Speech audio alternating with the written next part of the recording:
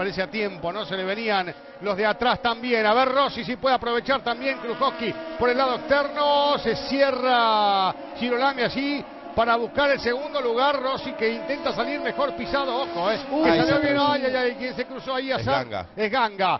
Cruzado, Uh. uy, golpe fuerte, esto se va a neutralizar de nuevo. Quedó cruzado el auto en el medio de Ganga y terminan dándose golpes varios autos allí. Atención con esta alternativa.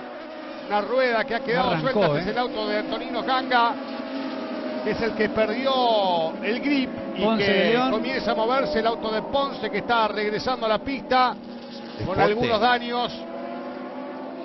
Es Ponte el auto negro, parecía un auto del Sporting, mirá cómo viene torcido ese No, no, ya está. Tremendo. No, no, ya está. Ya para sacar el auto de la pista, me parece, lo de Ponce de León, ¿no?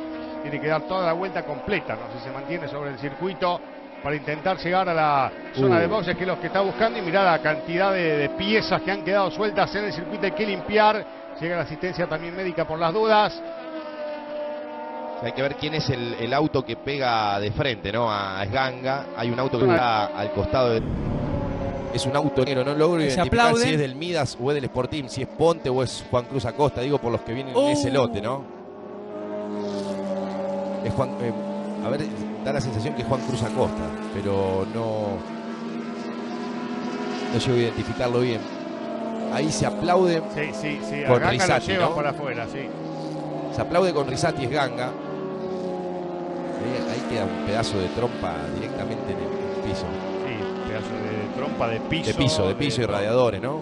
Cristian, Sí, es Juan Cruz Acosta el que está involucrado del Midas Racing Team. A ver Acosta. Y Ciantini que también, ahí está, es el auto, el blanco este que lo embiste ahí de costado, pero no pasa nada con él. Y lo Creo agarra una puerta al auto casi con la puerta, le pega a Acosta, ¿no? Este, Mirá cómo le arrancó el lateral izquierdo.